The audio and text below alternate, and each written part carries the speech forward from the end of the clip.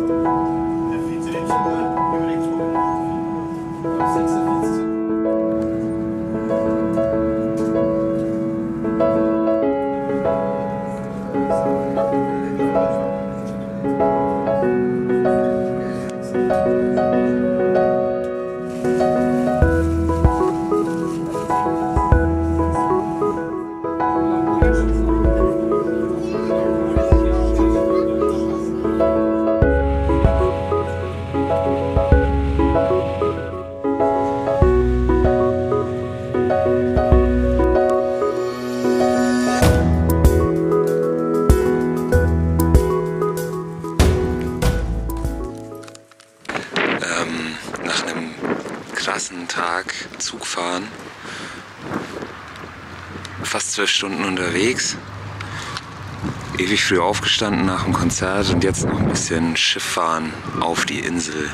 Ich bin gespannt. Bis jetzt ist hier alles ziemlich flach.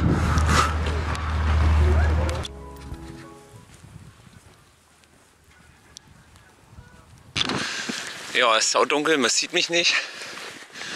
Aber äh, also ich muss schon sagen, ich bin jetzt hier auf Hiddensee angekommen.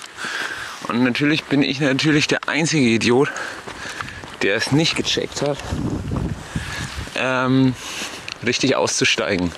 Witte verfahren, Kloster ausgestiegen, jetzt nach Witte laufen. Aber nach zwölf Stunden Zugfahren ist das auch echt okay.